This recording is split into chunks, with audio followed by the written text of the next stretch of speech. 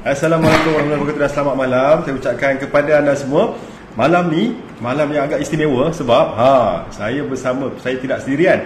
Dr. Nordin pun tak sendirian. Kita berdua-duaan malam ni uh, Untuk mengisi sesi Apa nama Perkongsian ilmu ni. Uh, Jangan terkejut eh uh, Apa Dr. Nordin macam mana Apa khabar Datuk sihat ke? Alhamdulillah Terima kasih kerana sudi datang Baik Datuk malam ni Kita nak kupas sikit topik pasal ni Datuk Kita nak borak-borak santai Yes. Pasal uh, azam tahun 2024 ni Uh, Ah. cara kita nak sihat tu macam mana kita nak sihat apa langkah kita lah uh, sebab berdasarkan pengalaman saya Datuk kan tengok patient dekat kita punya DNA Wellness Center ramai yang bertanya Datuk dia tanya saya ada masalah masalah hmm. diorang Datuk mereka ni dia cakap bila lepas konsult dia dia akan ikuti kan kita punya sihat dia akan ikut diet dia ikut kita punya makan suplemen biasanya lepas dah 30 60 hari kan dah 3 bulan tu dah hilang semangat. Macam mana nak bagi uh, istiqomah tu tu uh, kalau nak sihat ni.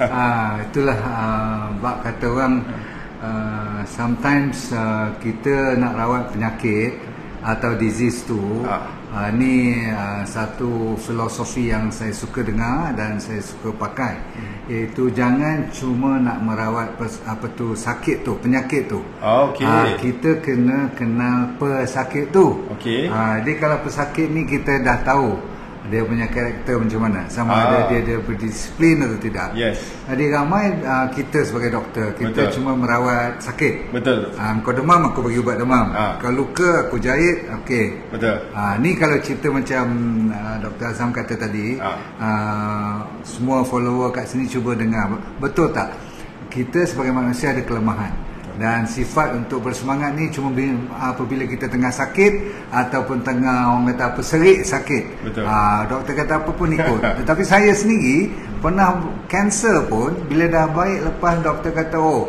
by the time you dah 5 years uh, punya orang panggil apa remission ya. Ah, remission. Dah dah doktor kata clear clear clear clear tunggu 5 tahun Ah. declare orang kata apa macam bebas. Ah. Ah. saya ni tahun ke-6 ah mulalah dia dah mula ah, tak apalah saya cuba ikut. Rupanya lepas juga. Maksudnya kalau saya 6 uh, tahun ke-6 dia orang biasa-biasa kalau sakit yang bawah pada kanser ni hmm. mungkin kalau 2 3 bulan dah baik masuk bulan kelima ke-6 dia jadi Ya, biasa baliklah. betul. So kita kena tengok pesakit. Kita jangan Oh. tengok penyakit tu saja. ah, betul Sebab kadang-kadang dengan ubat-ubatan dengan operation semua boleh baik Yes. dengan kemo semua tetapi pesakit tu.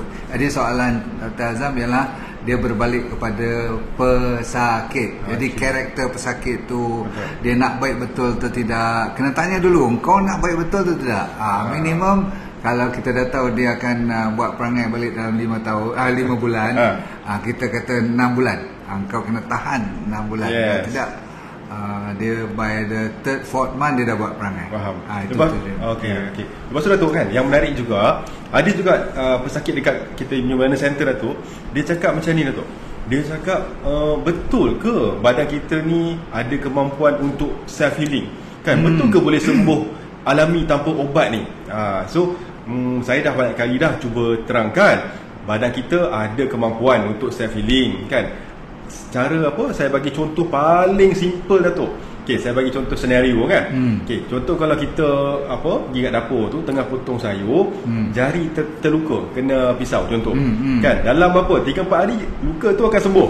Betul, Betul? Ah, so tu itu adalah bukti yang paling mudah badan kita ada kemampuan untuk sembuh. Yes. Ah, tapi masih ada orang Datuk yang macam tak percaya. Datuk punya pendapat macam Datuk? Oh, saya berpendapat uh, kalau you masa emergency Ah. kita pakai doktor modern punya style. Right. Maksudnya janganlah kalau dah patah tulang nak duduk kat rumah lagi ataupun diabetes dah uh, sampai melangit tinggi sampai dah keluar gula kat mata tu. Maksudnya dah sampai nak uh, takut sampai uh, orang kena dialisis semua tu tak usah melawak okey. Uh, saya pun uh, selalu kata you go and see a doctor first. Uh, sakit jantung kalau dah block sampai tiga Ah. tak payah nak self healing dulu. Betul. you kena oh, eh, tapi cakap-cakap juga kalau you betul-betul tidak ada harapan dan doktor lambat lagi nak operate, betul tak? Ha. Ada tak di hospital-hospital yang uh, Pak Cik tunggu lagi 6 bulan, ada tak cerita macam tu? Ada kan? Ada. Dan kalau dalam 6 bulan tu diambil kesempatan, nah ini yang Dr. Azam trying to say, kadang-kadang body kita tu memang Tuhan dah jadikan fitrahnya dah ada doktor tahu yes. tak ada berpuluh spesialis dalam tu Betul. sebab tu masa potong jari tadi uh, emergency ambulans dah sampai you tak payah panggil pun hmm. uh, dia sampai siap bahkan hari pertama jam pertama pun dia dah proses You perasan tak kadang-kadang luka kita keluar macam orang Melayu panggil air bisa tu. Ah ha, macam putih-putih jernih tu. Ah ha, itu dia dah proses lah tu. Dia dah nak tutup, dia hantar clotting agent. Yes. So berbalik kepada cerita-cerita penyakit kronik yang besar. Hmm. yang tu boleh kita amalkan konsep self healing. Ha, bila kita kata self healing sembuh dengan sendiri bukanlah kita biar pesakit tu balik rumah tak buat apa tak. Ha, dia ada empat uh, apa tu step yang wajib untuk mereka yang nak self healing. Okay. Uh, berarti dah membuat kajian pun. Yeah. Uh, jadi ini satu daripada uh, bidang perubatan yang tak ramai orang minat sebab dia kurang percaya.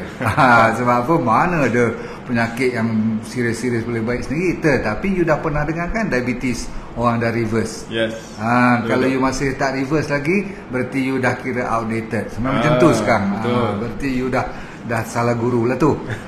High blood pressure high cholesterol obesity. Paling mudah sebenarnya. Ha, yang susah kalau macam kidney problem ha, tu itu pun stage 1 tu masih lagi kita boleh control. Baik right. empat step yang saya ingin share dengan anda. Nombor satu dia panggil nutrition. Ha, nampak gaya? Oh kena buat sesuatu jugalah. Habis? Takkan Tuhan bagi kau just magic show. Oh duduk diam je Lepas tu boleh baik uh, penyakit-penyakit yang serius ni kan. Kena lagi serius lagi kena buat betul-betul lah. So nombor satu nutrition. Uh, di panjang cerita lah. Nombor dua uh, dia namakan uh, orang panggil immune system. Uh, apa-apa saja yang men, menjatuhkan immune system you susah lah you nak baik sendiri. Jadi betul. kalau perlu katakan dari segi pemakanan you dah memang tak cukup vitamin D tak cukup vitamin apa omega 3 confirm yes. kita tak cukup yes. apa tu selalunya orang tak ada vitamin B12 semua tu ha, kadang-kadang orang gila vegetarian vegetarian sangat Betul. kalau orang gila keto keto sangat Betul. sampai sampai dah melawan fitrah Quran dan sunnah Betul. saya tak benarkan diri saya kalau kalau sebagai guru pun kita kena ada wasatiyah dia maksudnya kita kena betul-betul sederhana tetapi masuk akal Nombor tiga ialah you kena Tadi saya kata apa? Nutrition Nombor dua immune system Nombor tiga ialah dipanggil stress Ah, ha, Dalam erti kata Malam ni saya nak guna perkataan baru lah Sebab pada tahun 2024 nanti Yang Dr. Azam akan kupas sikit lagi Apa lagi kita nak cuba ajukan Namanya ialah trauma hmm. hmm. Ini bukan trauma hantu Dari kat dinding tu Itu trauma juga Tapi trauma hati you Ha, trauma riwayat hidup you. Nanti saya akan kupaskan kalau masa depan ada kita akan masukkan ke dalam trauma ni. You nak tak nak you kena dengar. Pasal apa? Ramai orang boleh baik dengan sendiri apabila trauma tu dikendalikan. Ha, dibereskan. Tu yang panggil let go feel good tu. Yes. Dan nombor empat, habis sekali pada 2024 ni kita nak ajukan konsep apa yang dipanggil identity. Rupanya orang sakit dia lambat baik sebab dia tak kenal diri dia pun. Hmm. Dia tak kenal yang dia tu ada kelemahan, ada apa orang panggil kadang-kadang kekuatan kat mana pun dia macam tak nampak. Sebab dia asyik nampak uh, kesengsaraan, penderitaan. Dan kadang-kadang bila orang tu tak ada value, dia rasa diri dia tak berharga, lagi lambat baik. Ah yeah. itu itu sebagai mukadimah lah. Ah menarik kan? Menarik tu kan. Ah, so kalau anda nak tahu lebih lanjut nanti uh, insya-Allah uh, apa sesi live berikutnya jangan lepaskan peluang kan? Uh, tonton uh, insya-Allah uh, berikutnya Dr. Nurdin akan kupas uh, more detail pasal apa setiap satu faktor tersebut Datuk kan? Ramai yang telah mendapat manfaat dari DND 369 Sacha Inchi Oil. Pastikan DND 369 Sacha Inchi Oil yang original hanya dari DND dapatkan daripada dropship sah DND okey uh, lepas tu Datuk kan? Dia macam ni ada juga uh, kita kalau kita bicara tentang tahun 2024 sekarang ni saya dapat uh, maklumat juga Datuk. Ramai orang ada dalam tekanan Datuk. Tekanan hmm. hidup kan? Lepas tu apa nama tu bebanan hidup sebab ekonomi hmm. kan? Sebab kewangan kan? Uh, sebab tu saya rasa Datuk apa tahun 2024 ya, di pihak uh, kita di ND pun kita ada sedikit apa dah tu ada visi juga nak membantu dah tu eh? Betul. Uh, dari sudut kita punya apa satu program namanya DND Elite betul tak eh? Yes. Uh, so um, nanti kalau apa saya, saya yakin ramai yang tengah tonton kita Datuk sekarang ni 50% is kita punya di elite members. Hmm. Uh, so sebenarnya uh, nanti akan ada juga uh, kita akan banyak fokus tahun 2024 dah tu kalau kalau ada apa uh, untuk kita bantu lebih ramai orang ni tu bukan sekadar dia sihat sihat uh, jasmani. Sihat jasmani uh, sihat uh, apa rohani. Dan juga kita nak bantu juga mereka ni tu untuk stable uh, untuk bantu stable dari sudut apa ekonomi jugalah. Uh, sebagai boleh kata jihad jugalah kan bantu ya tu eh? Betul. Uh, sebenarnya tu kalau saya apa boleh tanya datuk lah. Um, apa tu? Kalau misalkan uh, seseorang tu ada masalah bebanan hidup tu kan tekanan hidup kan tekanan perasaan semua ni ada tak satu pil ajaib yang Datuk rasa lah yang Dr. Udin rasa? Ha. kalau dipegang ni insya-Allah semua masalah tu boleh dikawal. Pil-pil macam ni tak ada jual. Yang ada jual adalah uh, kita seolah macam you telan pil apabila you menerima ilmu. Ah ha, itu dimaksudkan bagi DND ini tidak lain tidak bukan dia berasaskan kepada ilmu dahulu. Uh, baru kita cerita benda-benda lain. Sebab tak gunalah uh, kalau you tak faham bahawasanya kesihatan tu is still number one. Betul. Uh, tetapi kalau tak ada duit pun uh, walaupun dia number two dalam kita punya sinarai keutamaan seulang dia masih lagi dalam tujuh. Saya bagi tujuh ya. Nanti kalau sempat uh, contoh kita bagi nombor satu uh, kesihatan. Kalau tak ada kesihatan tak usah cerita lain pun tak apa. Sebab apa? Orang yang pernah sakit akan faham. Uh, itu pun pil kalau takat satu pil sebulan tak boleh pil hari ini tak boleh kadang-kadang pil tiga kali sehari pun tak tentu boleh tak boleh uh, bermaksud apa bermaksud siapa yang tengah sihat sekarang teruslah dengar dan teruslah ambil uh, perhatian semoga bila Dr. Azam cerita tentang satu topik saya nampak bila dia cerita pasal kidney, ha. pasal apa lagi? Jantung, Jantung pasal tiga serangkai, buah pinggang, buah pinggang, ah, pinggang tiga kencing manis. You all punya ramai tengok. Kalau dia tukar topik sikit dah mula turun sikit. Saya pun macam tu juga. Ha. tapi mulai tahun depan kita nak fokus pada topik-topik walaupun tak popular tapi saya nampak sangat. Kalau you cuma tunggu pil sebiji sebulan ni nak baik semua bebanan stres semua rasa terlambat. You nak tahu tak ramai sekarang yang di luar negara dah bunuh diri. Yeah. yes. Betul, betul. Cuma orang tak banyak cerita sebab uh, benda tu dah jadi orang kata kebiasaan dah. Ha.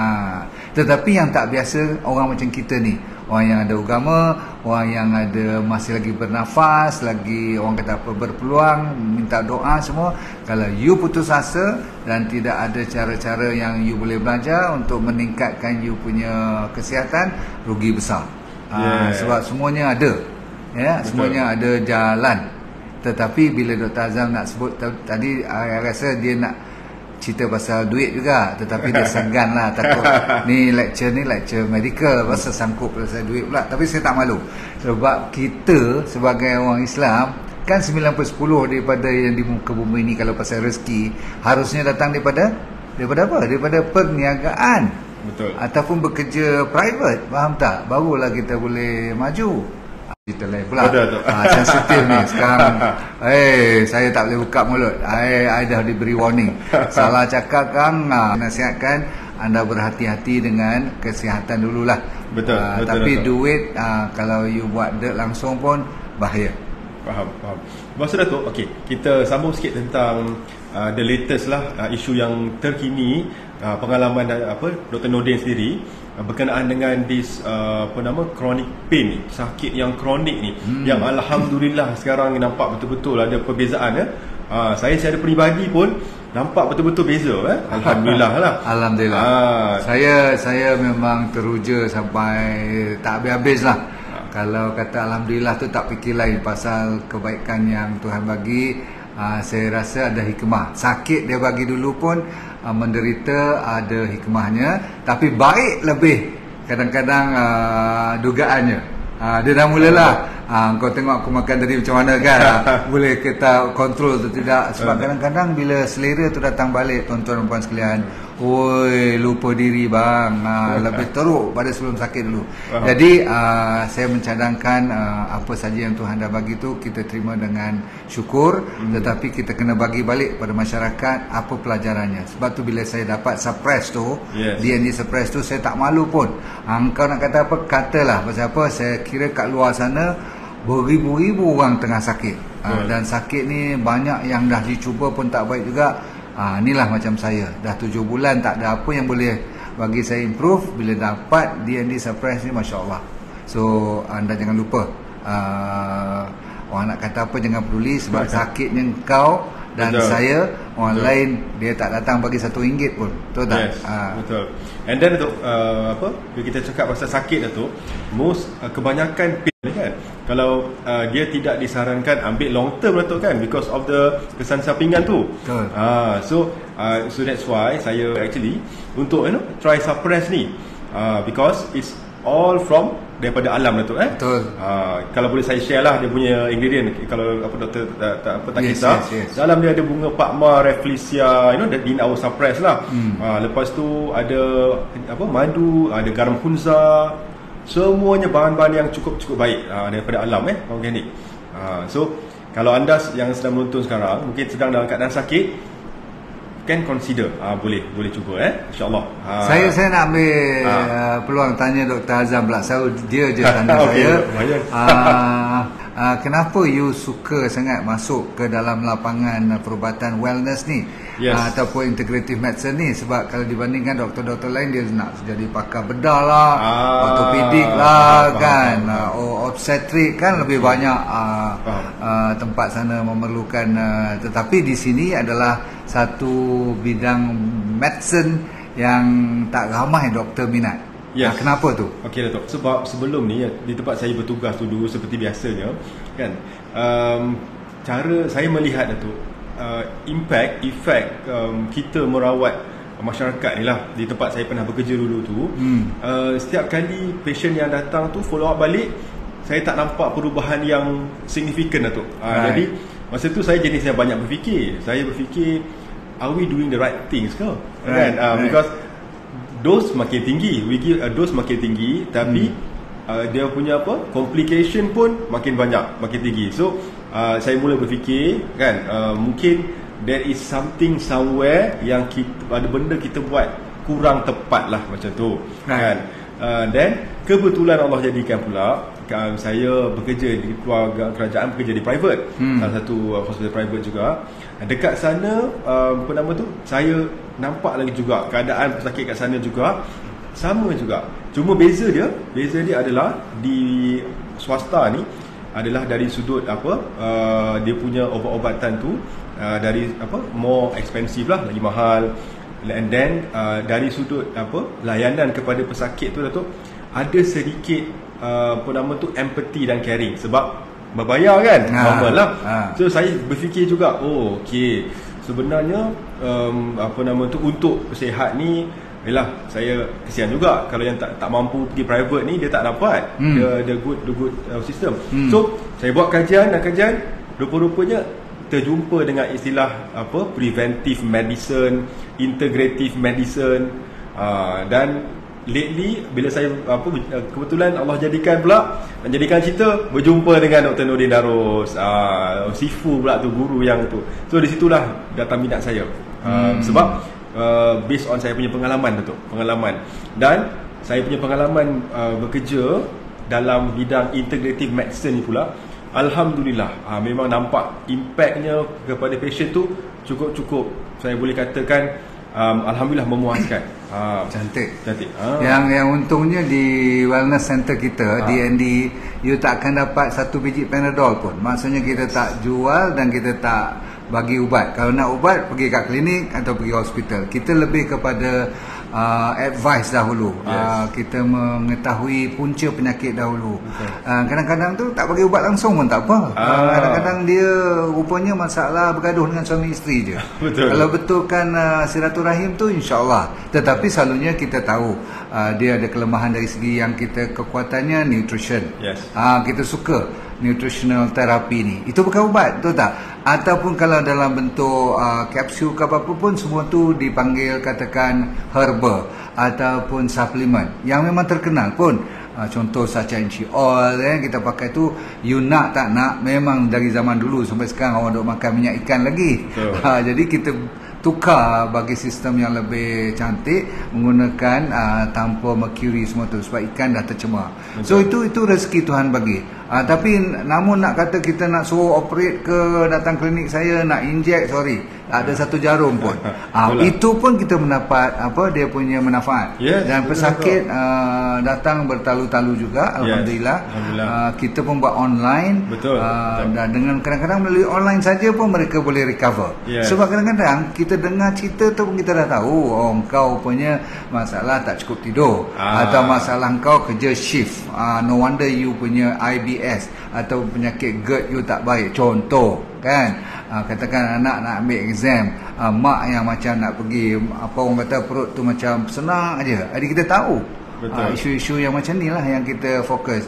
So saya menggalakkan orang macam Dr. Azam dan kalau you kenal Dr. Farah dah kalau saya boleh kongsi lah Yes. Kalau dekat uh, Wellness Center DND ni Saya akan biasa guna ayat macam ni dekat pesakit lah Yes. Saya akan cakap uh, Dekat sini Diet dan puasa You kena anggap dia sebagai Obat So hmm. you, you kena ubah you punya cara fikir Hmm. Kita jaga makan ni bukan jaga makan sahaja Hmm. It's ibarat seperti pengganti kepada obat Yes. uh, So bila you dah fa- faham that konsep tu Memang you insyaAllah Memang Yes. banyak akan dapat kesan Yes. Ah, and then I selalu tekankan Datuk uh, bahawa dia ada konsep food as medicine. Ah. So you pilih makanan ni yang bersifat medicine sahaja. Hmm. Ah, yang food as, yang bersifat poison macam processed food, macam yang apa nama GMO semua tu you kena cuba tinggalkan lah. Yeah. Ah, macam tu. Right, right. Ah, so uh, macam Datuk cakap tadi lah Datuk cakap apa yang penting tu dia ilmu tu kan dia, Yes. dia pemahaman tu yang kita nak nak Yes. sampaikan Yes. ah. Ramai yang telah mendapat manfaat dari DND 369 Sacha Inci Oil. Pastikan DND 369 Sacha Inci Oil yang original hanya dari DND. Dapatkan daripada dropship sah DND. So tuan-tuan dan sekalian, uh, masa masih ada lagi 5 minit, saya nak tanya lagi satu soalan. Oh, okey, Dr. Uh, pengalaman Dr. Azam sendiri, uh, penyakit apa yang paling susah nak jaga? Ah, maksudnya dari sudut integrative medicine lah. Faham. Uh, tolak ke tepi yang kena operate semua tu tetap kena operate kan. Uh, so apa apa dalam pengalaman uh, integrative medicine ni yang susah? Faham.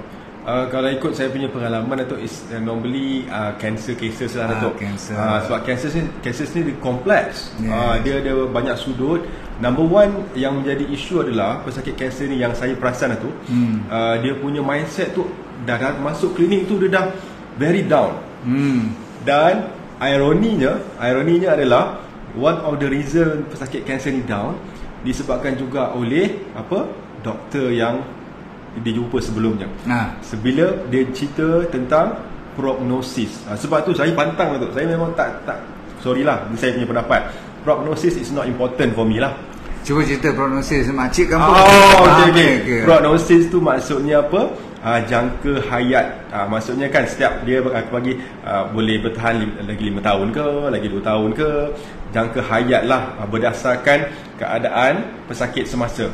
Macam tu. Sebab kanser kan ada banyak stage. Stage 1, stage 2, 3, 4. Uh, macam tu. Biasanya kalau dah stage 4 tu ada certain case dia akan bagi prognosis Mungkin ada 6 bulan, ada setahun Jadi saya cukup pantang ayat tu ha, Saya kalau jumpa pesakit saya cakap Erase ayat prognosis tu Sebab sekarang itu kerja Tuhan lah kan? Ah, Kerja manusia kita fokus pada Ikhtiar cari jalan rawatan Betul. Itu je lah Itu saya Betul. punya cara lah Datuk So uh, So the first step tu Datuk Kalau pesakit kanser ni Kita nak kena betulkan mindset tu ha, Yes. Itu yang cabaran lah Yes. ha, Itulah cabaran And then after that Dia dah ada that belief uh, Then only uh, Lebih mudah lah Untuk kita bantu All these pesakit-pesakit kanser ni uh, Macam tu um, Itu pun sometimes One of the cabaran yang saya hadapi Datuk Is uh, ni Nak bagi mereka ni um, Istiqomah ni. Uh, Sebab as a manusia kan kita Tak sempurna Banyak kelemahan.